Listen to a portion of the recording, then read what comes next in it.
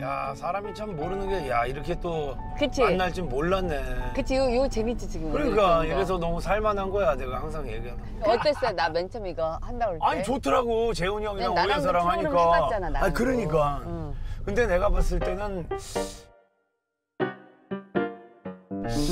오여사랑 오히려 상렬이랑도 괜찮을 것 같고.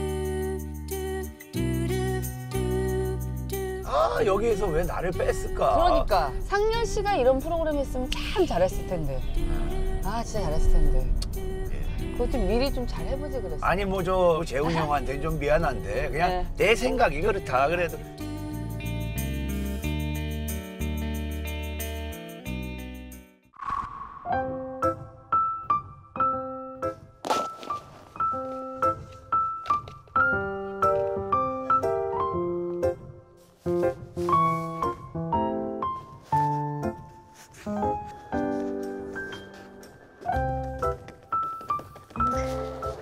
물감이 위에 더 채워지긴 해야 돼요. 어 근데 왜 내 눈에는 다 그린 것처럼 보이지? 할 게 너무 많은데 물감이 없어요. 내가 세- 하- 쓰고 싶은 색깔이 아. 그래? 어난 훌륭해 이 정도만 해도 아 아니에요 아니에요. 이 연약한 그 환경 속에서 이 정도만 해도 훌륭한 그러면 빨리 가자 집에 이제 얘네들 그러니까. 뭐 장봐갖고 오니까 거기 가서 밥 먹으면서 좋아요 오빠. 어, 오케이 오케이 가자 짐 챙기고 야 물감 우리가 다 썼구나 내가 이거 맞네. 하느라고 물감 아다쓴거 물감이 왜 모자란가 했더니 좋아. 야 이게 뭐야? 오 좋네. 이 비린내가 진짜 좋네. 에? 아 익숙하구나. 아 나는 왜냐면 바닷가 사람 아니에요. 야 이건 맛있겠다. 이거 맛 사줄까요? 이거 하나씩 먹자 이거.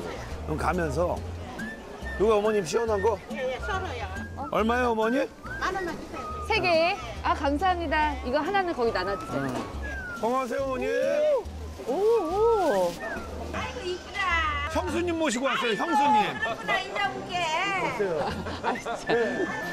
여기 회 볼까 회? 여기 뭐. 어때요? 나보다 잘하니까 회 어때요?